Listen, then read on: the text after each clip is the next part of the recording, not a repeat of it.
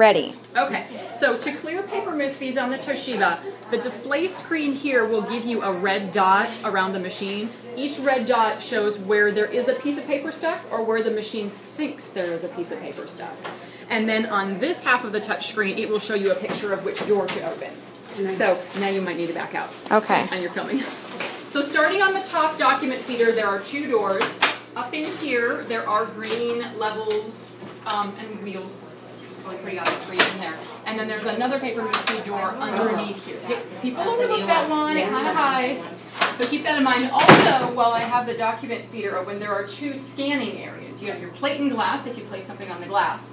And then when you feed paper through the top feeder, this sliver of glass over here is the scan area, and sometimes this one gets dirty, and you might notice lines or streaks on your copies. Mm-hmm. So when that's dirty, you can just use a cloth or a towel to wipe it off, and there's a sticker on the top that gives you more instructions with that. Now, if paper misfeeds inside the machine, it's going to begin feeding along this right-hand side here and go through the machine over and out. So there are two doors over here, first two doors. Plain as day, you will be able to see your paper on this side of the machine. Do you mind to film it over Yeah? I'm coming around. So all I did was pinch this handle together to open both of these doors. Okay. So once your paper travels inside the machine, I'm gonna move back over to your Yep, machine. I'm going. In here, everything slides out to you like a drawer. So you may see a piece of paper sitting here. This is the fusing unit, the hot part.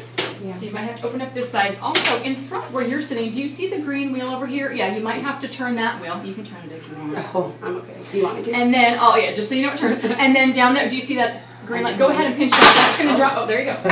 So that's the duplexing. Very So similar to the other model. Yeah, that's very I didn't know similar. that's what all the green things meant. Mm-hmm. If the paper is down here, sometimes you can't really reach it. You really have to reach your hand back in here to And there'll find it or to two. get to it. Okay. So I'm gonna slide this back, make sure that you, you have to push this lever back up so the door won't close when you're finished. And then moving back over here, the finishing tray detaches. And I just push this button right here. And there is one more door down inside here. So in that inside door, you will be able to see your paper pretty obviously. Why do you It's push in there. that button down? This one? Uh-huh. To release it so I can slide it over. Oh, okay. Because it's latched to the machine. once it's open. Okay, yeah, Yeah. I was And I didn't know that. like, I I was just, know yeah, that. so you got there, I'm like, Three why do you times. have to push it again? Marty! I was like, why is she pushing it again?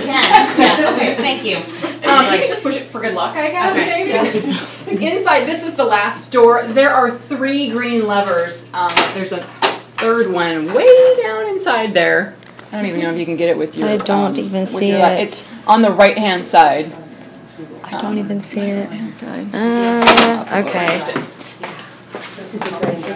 So we've got one, two, and then three is way down here. Oh, okay.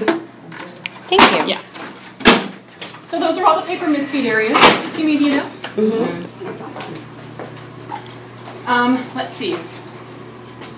Did you all want me to go over e-filing at all, or are you okay with the instructions that I let, I'll leave behind? And then did you want to film um, some of the keystrokes? Yes, please. Okay, so